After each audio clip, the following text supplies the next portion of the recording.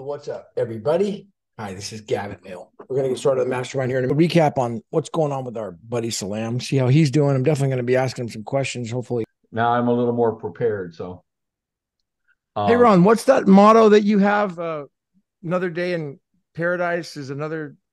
another what is that? Well, I got a lot of them. That's just because my rubber room of a mind. So, uh, every day above ground is another day in paradise. another day, isn't it? Every day above ground and out of custody. Well, I add that out of custody without COVID is another day in paradise. so another day room of a mind. so another day. I used, I used to say, you know, no matter what happens, it doesn't matter what happens to you; it's how you react to it. So I cried because I had no shoes until I met a man that had no feet. So stop feeling sorry for yourself. Get up and get after it. So every day, every day above ground and out of custody, and no, and without COVID. With, without COVID. I got a call Tuesday from uh, Sellam's dad. The weekend before, I bought a bull over there, and so I got his number. He got my number, called me, uh, left a message, and then he called me again, and I taught. I picked up. I said, "Hey, what's going on?" Salam had a heart attack. He's in a coma. I said, "Oh my God, are you serious? What's going on?" And he says, "I don't know. It's not good. It's very serious." Is what he said. Very, very serious. And I said, Well, I like he's he's in a coma. He said, Yeah.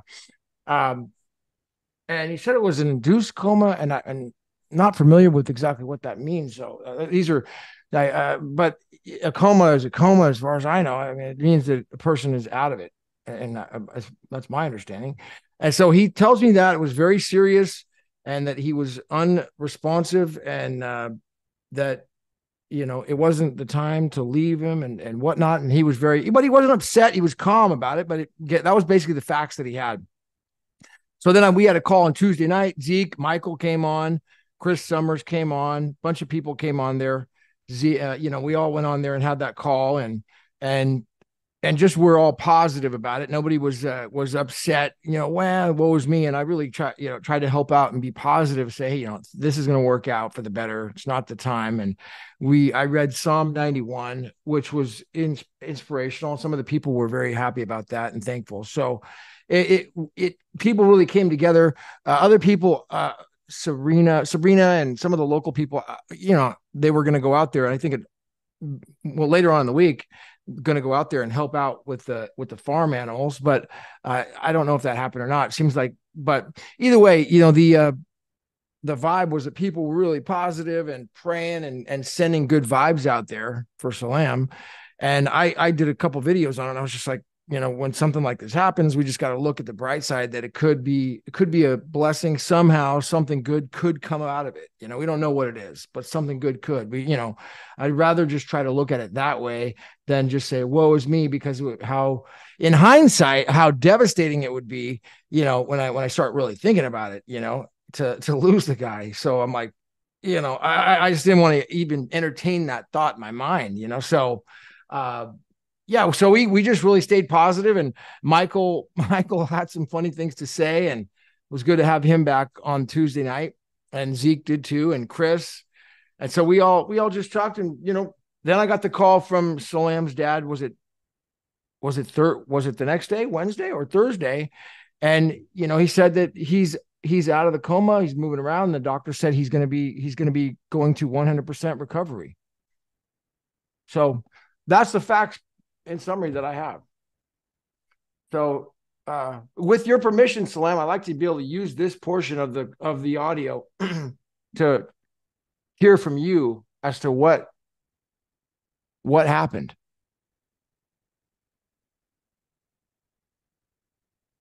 Do you need it? Sounds like you need a minute. In a minute. Okay.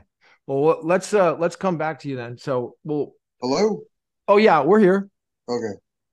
Um, yeah, thank you very much, Gavin, for all your help and support and uh, prayers, especially. I think they definitely were the thing that, that did it.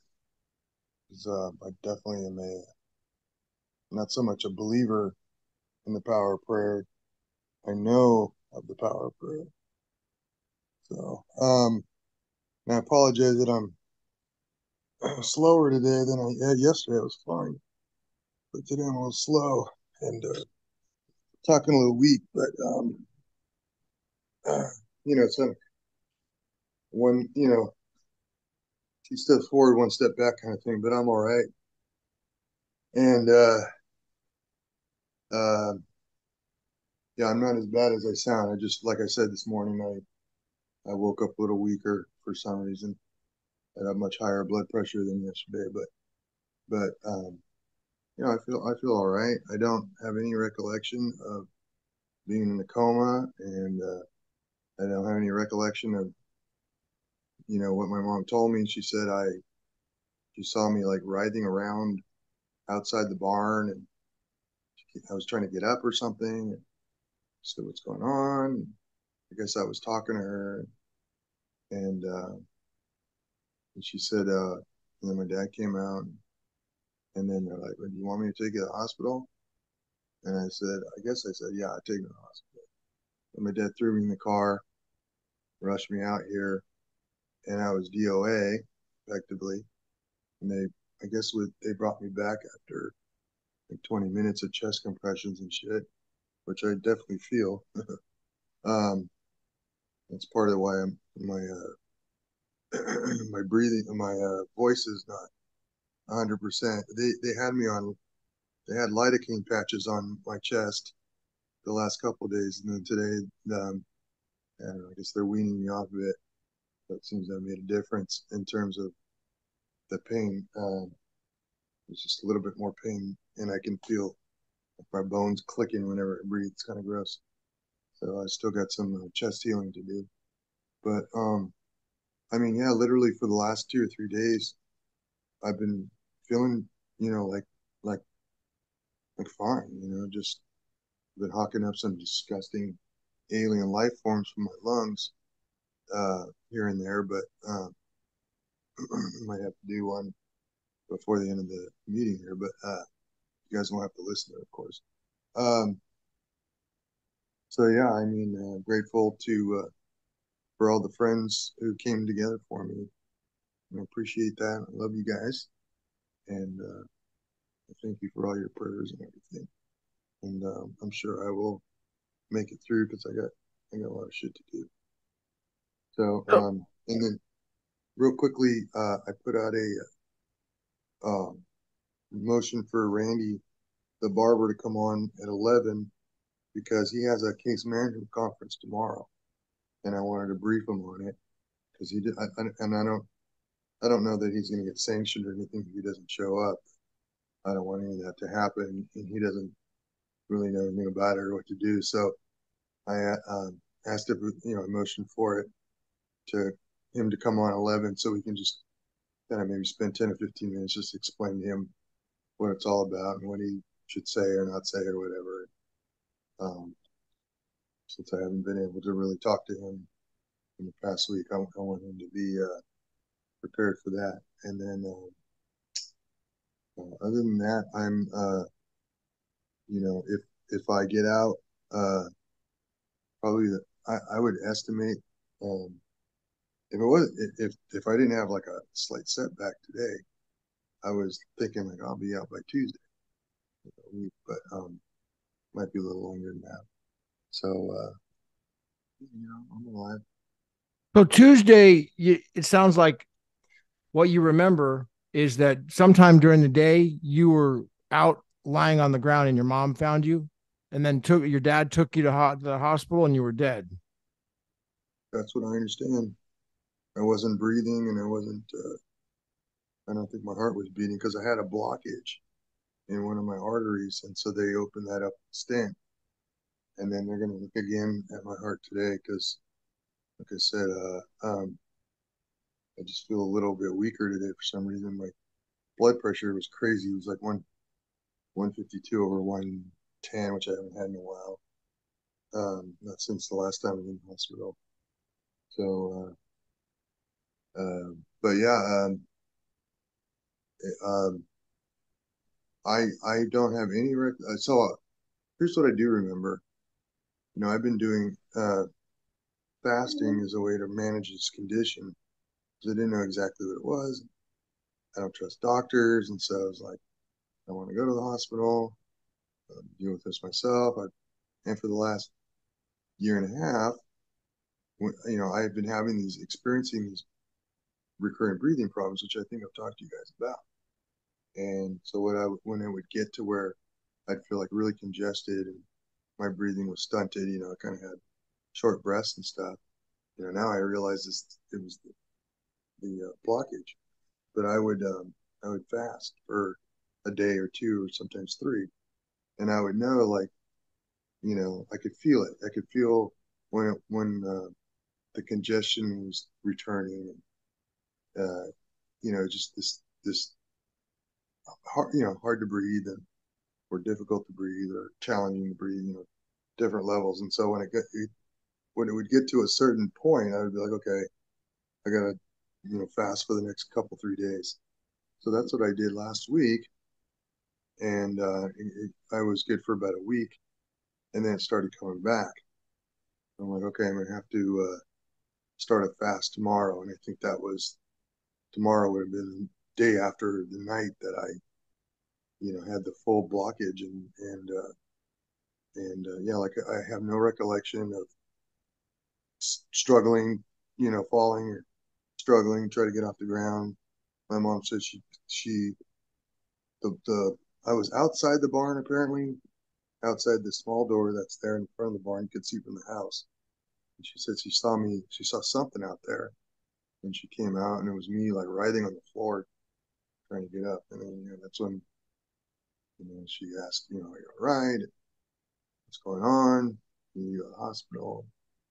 And so, yeah, from there, uh, I, like I said, I have no recollection other than I knew that it was time to do a fast.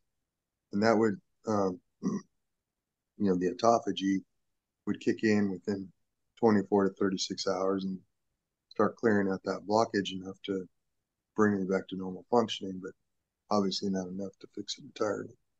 So now that, uh, you know, I'm here in the hospital, uh, put the stent in.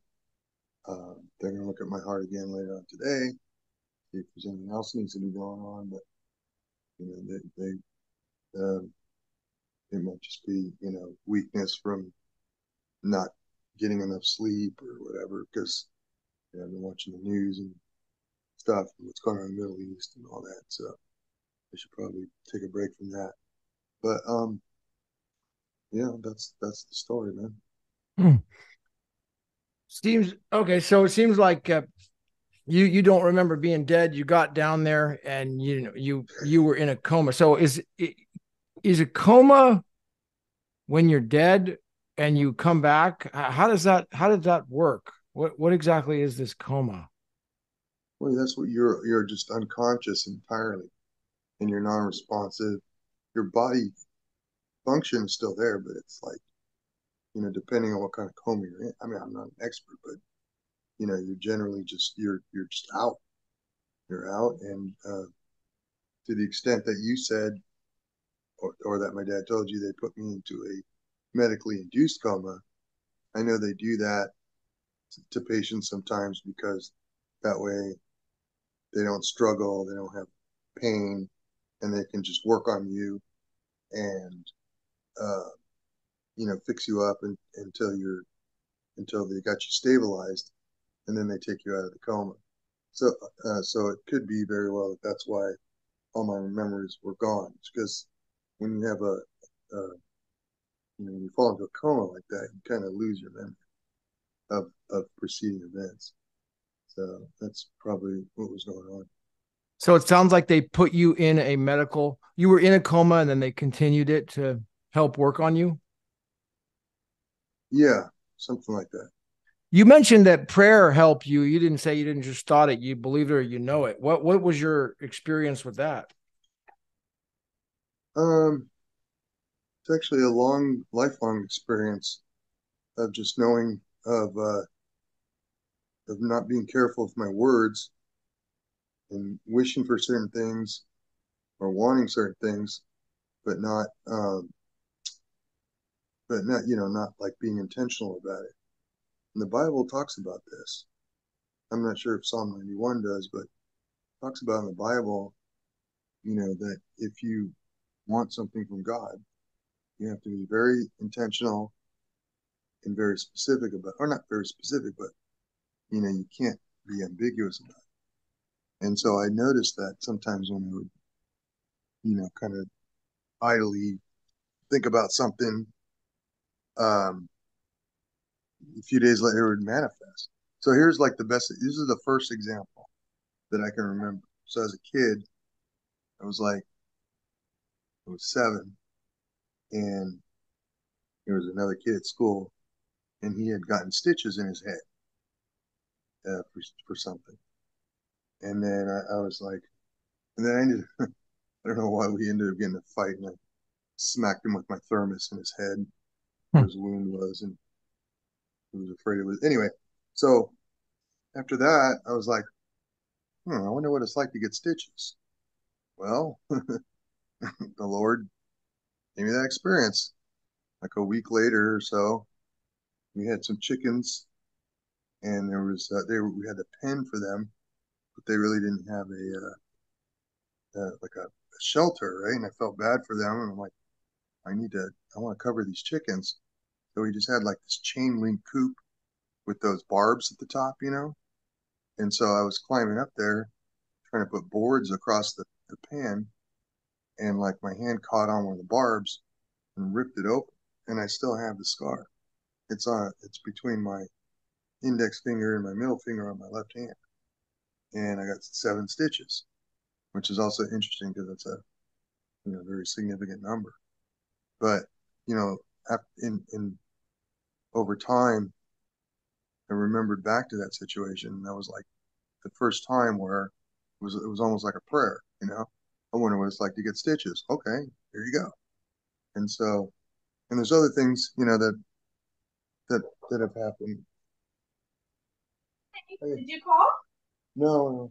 You just walked oh yeah, yeah. I'm, okay. Did you flush? I didn't. I actually just farted. Thank you. Do you want to sit in the chair so I can change out your bedding? Okay.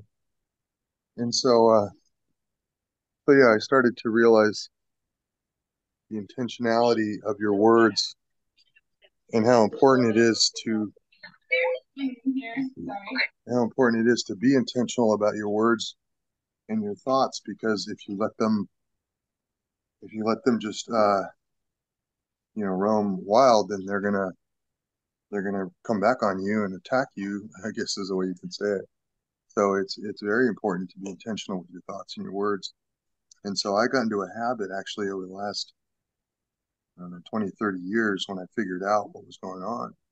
Whenever i'd have an evil not an evil thought but you know thought or, or i think something that could be bad i realize, oh wait a minute i might be setting myself up so i would i would immediately say well, that's not going to happen. It's never going to happen.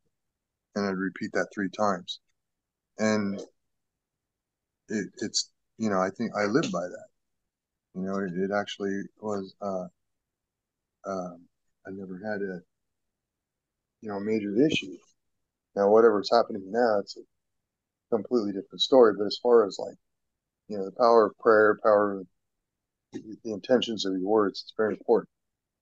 And I said, that's something I learned and uh, and then Gavin, you know, when he had the, the prayer meeting on Tuesday night, I think that could pretty pretty clearly demonstrate to anybody who understands this why I probably came out of uh, my situation uh, so quickly because you had people who genuinely cared about me and put their words of intention.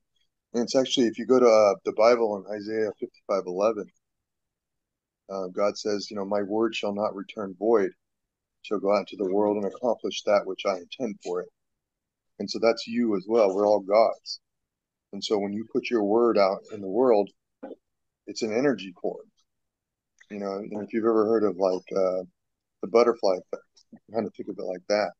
A butterfly flapping its wings in South America can cause a hurricane in New York. You know, so if you if you have thoughts or you you know say intentions, they're going to manifest.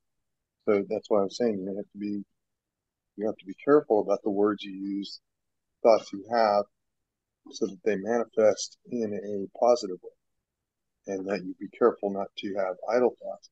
And, and, the, and again, the Bible talks about that too, in the Psalms, in the Proverbs. You know, be careful of your thoughts. Don't have idle thoughts and stuff like that. So, um, um, yeah. Tuesday. So Tuesday night, yeah. While we were having that prayer call, you it seems like that was when you were blacked out in the coma, dead, and we uh well, we were all on. You're, well, you're not dead when you're in a coma. You're just in a coma. But, were you dead before that? Did they say? I, according to them, yeah, I was DOA. By the time my dad got me here to the hospital, I had to get me out of the car and start chest compressions. And I, I, what I've told, uh, it took him like 20 minutes to get my heart back going or something. So yeah, I was I was technically dead. Wow. So the, what we what we did must must have sent a sent some message to you. It did. Isaiah 55, 11, brother. So your word went out into the world and, and accomplished that. All your words went out into the world and accomplished that which you intended. And that's what that's what brought me back. Isaiah 55, 11. Yep, one of my one of the one of the ones that's one of my standbys. Isaiah 55, 11. Romans 2:11 there's no there was no respect of persons with God. Um what's another one? There's a bunch of really good stuff in there. Now, Romans 2:11 I like a lot because it it it, um, it kind of lays out the legal principle of persons. It literally says in the King James version, "For there is no um, uh, lost also for the for there is no there was no persons before God, meaning God doesn't care if you're a king, prince, president, a pauper, a regular civilian, whatever. You're a man to him. You're his creation. And so um, he doesn't see your person. He doesn't see, and, and it's again, it's a very, it ties directly into the to the law stuff that we discuss all the time. The person is your persona, you know, and you take on many personas. So anyway, it's just or there for there is no respect of persons with God. For there is no respect of persons with God. Yeah, and you read you read the whole verse there or whole chapter, and you get a better understanding of what it's talking about. But that's what he's saying. He doesn't care if you're a king or a pauper. You're his creation, and he's not going to um, treat a king any better than a pauper. And treat him equally because their person doesn't matter. It's them as the man or the woman that matters. And then keep 5511 Isaiah, so shall my word be that goeth forth out of my mouth, it shall not return unto me void, but it shall accomplish that which I please, and it shall prosper in the thing whereto I sent it. There you go.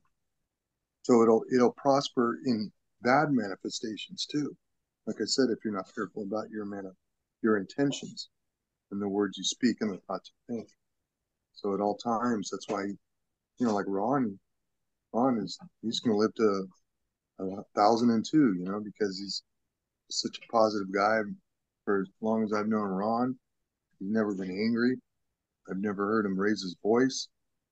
Uh, you know, and, and he's like, he, he's he's Ron. Ron has it. I figured it out. I don't know that he, you know, knows specifically, but you know, that's that's the kind of person we should all aspire to be to. Not that you guys aren't. You're you're pretty level headed yourself, Gavin, and, and Zeke. You know, once in a while Zeke will maybe get frustrated, but uh, you know, I'm certainly I would consider myself the probably the least uh, uh, of the group in terms of anger. I get angry a lot, but I try not to. um, but um, but yeah, the, the intention is the is the very important thing because your word will go out and it doesn't return void, meaning it doesn't it doesn't do nothing. It does something, and it does what you intend for it to do. Yeah, very important verse. Ron shared something here in chat. Uh, uh, if you, Ron, oh, it's hold on. That's just shit that I've come across a long time ago. That since Sellam went through what he went through, you know, you know, just like for me and you to meet, going back to the date of Christ, there's almost forty-one thousand people 20,000 on your side and 20,000 on my side that created us to even be here today. And in a 100 years from now, no one will even know who the fuck we are. So let's just focus on what's important. Yep. Yep. That's so true. Seems like you're talking about the the lineage, Ron, family tree. Yeah, I'm just talking about, you know, if you go up to that thing, you know, you had two parents and then grandparents and so on and so forth you know, just going back for 400 years, we each needed, there were 8,192 ancestors just for us to be created to meet each other. And that's 400 years. You go back to Christ, it's, you know, 40,900 people. 40,000. Oh, 4,906. See, uh, yeah, it's a doubling. It's a doubling. 1, 2, 8, 16, 32, 64. But but the point of the thing is, look at how many people that have gone through time just to where we are, and then if you take what we're what I put after that, that in 100 years from now, you know, how many people know who their grandfather's father was? We're just a fucking portrait on somebody's wall. I've had people ask me, "Who's that?" Oh, that's my great grandfather. Never met him, but I got the picture from my family. So mm-hmm. the last thing is Buddha you know the biggest mistake we make is you think you have time time is free but it's price priceless you can't own it but you can use it keep it but mm. you can spend it once it's lost you never get it back so you are almost gone Sellam so everything you got from the other day on is is fucking a blessing to you and us because you're agree. still around yeah you know and it's funny because i'm gonna have to pause here in a second to off this loogie, but um, I had been talking to Zeke a couple months ago about creating a living trust because I have a, you know, I'm a computer collector, big in that hobby. I'm a big mover and shaker in the hobby, which is actually huge now. Tens of thousands of computer collectors all over the world. I started you know, uh, collecting really when I was a kid, but by 1997, I created this event called the Vintage Computer Festival to bring people together, celebrate old computers. Because I'm a nerd, that was my thing, and it's still going on today. 25 years yesterday, last year was the 25th year anniversary of the event, and there's events all over the world now, literally that I spawned, which I'm proud of. Um, but the uh, the problem is you know, one day all of a sudden you'll see a bunch of good stuff coming up for sale. And you'll be like, oh shit, who died? You know, because people amass these collections. Some of them are hoards, some of them are well curated, like museum quality. I know it runs the gamut. So I was thinking, you know, I don't want it, when it's very chaotic when somebody does pass and there's no succession for their collection. It's it's a, it's a boon to some people.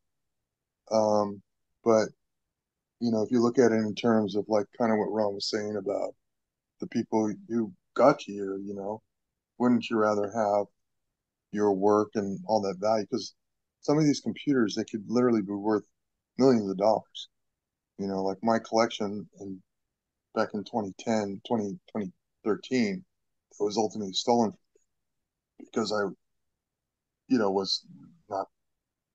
If I knew more about Ritz, I would have probably not have lost that collection. It was a one to five million dollar collection back then.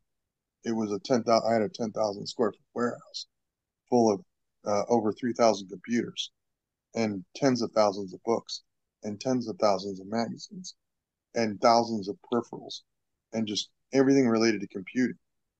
I had hundreds of thousands of individual items. It was a massive collection I'd been collecting for a long time. Now it got taken from me by corrupt landlords, fucked me over. That's a whole different story. But anyway, like I was saying, you know, it's it sucks when all of a sudden you see a bunch of nice stuff coming in, and you're like, oh man, somebody died. They didn't take care of a will or anything. So I started on the idea of I wanted to create a living trust. It's a very easy uh, trust to set up, and it protects all your your stuff. And it, it's good whether you have a computer collection or boat collection or whatever collection you have. You know, if people just do that, then you know put their stuff in the living trust, you get to continue administrating the trust. You get to continue using the stuff. Nothing really changes. You know, technically you don't own it, the trust does, but you still get to use it and you still get to manage the trust. You're you're the trustee. So you still have full control of it. But then when you pass or something happens, um, and this is actually the this is also another thing, like if I had if I had put all my stuff in trust back in 2012, 2013, before the landlord stole it, I could have come in as the trustee and said, yeah, these people have my stuff. Because, you know, Sellam, the guy who owed them back rent, which, you know, wasn't that much, I had gotten into behind on rent with them before. I had been renting with them for five years. They were great people. They never had an issue with it or whatever. But that, I don't know what happened. I think, I speculate that, I don't know, they knew what was going on. Somebody talked to them maybe and they were calculated about it. Because, like, you know, they evicted me. It's like, okay, well, you know, I want to get my stuff. No, too late. You can't get your stuff. Fuck you. Hung up. So if you have a, if, if this, if the stuff is in a trust, they can't do that because the trust is a separate entity. It's a separate person. So you can go in there and be like, I'm the trustee of the Sellam Abraham Computer Trust. You need to hand over all the property right now. We're going to sue the fuck you.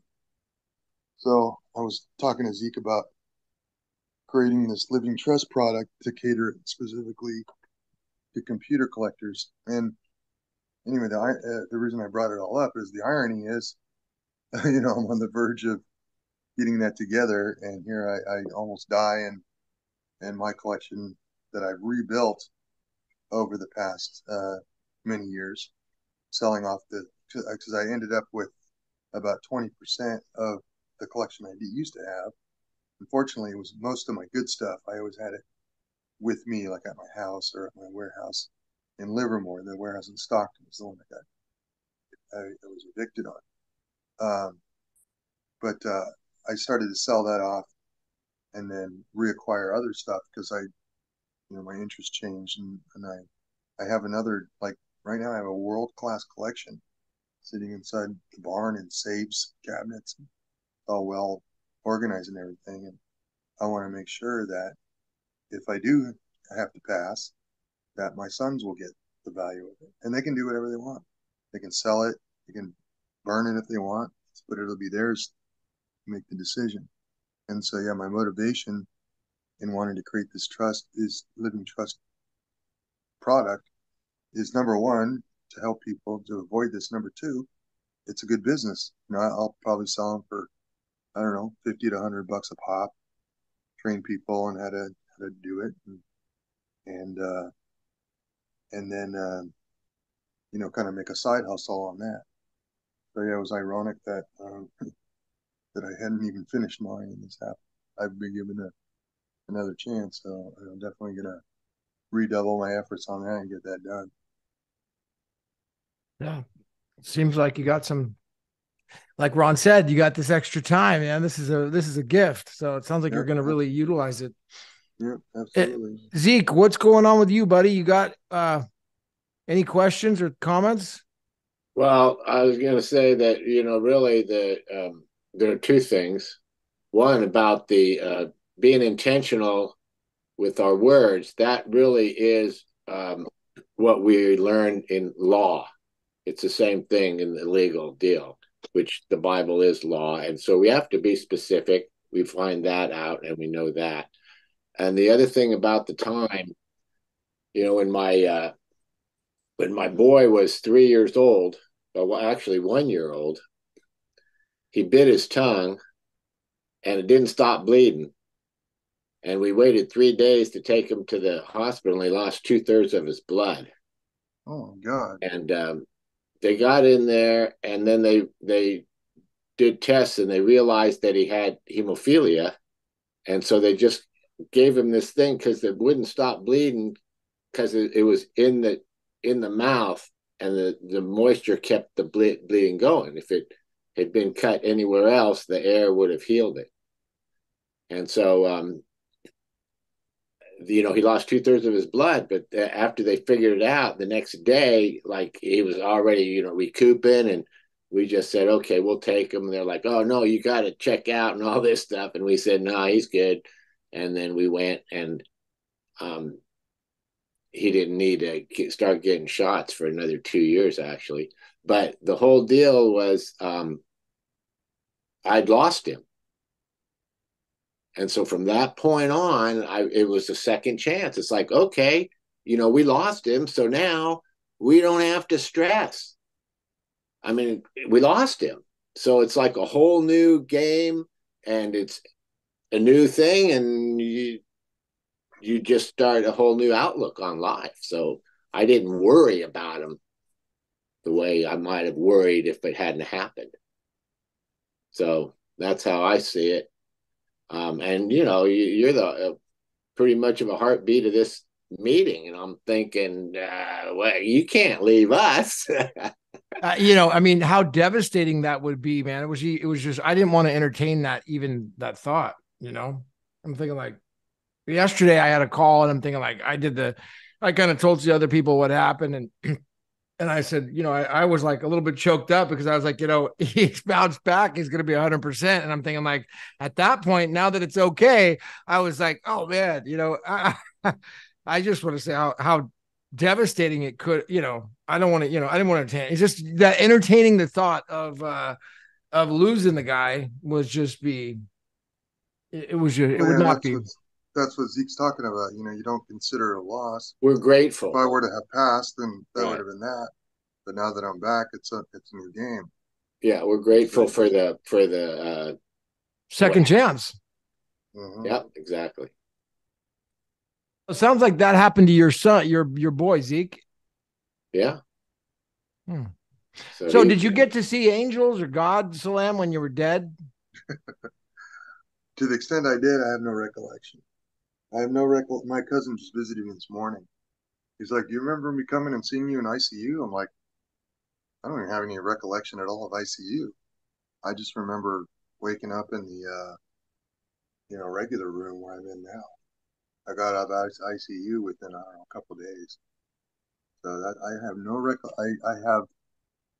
I like I said, the only recollections I have is knowing that okay, you know this chest congestion, con- congestion, breathing issues that I've been suffering with for a year and a half, which now I know turned out to be the uh, blockage, which they put a stent in, um, was, uh, you know, I, I, knew that I needed to uh, do another fast, a main, what, what I consider a maintenance fast.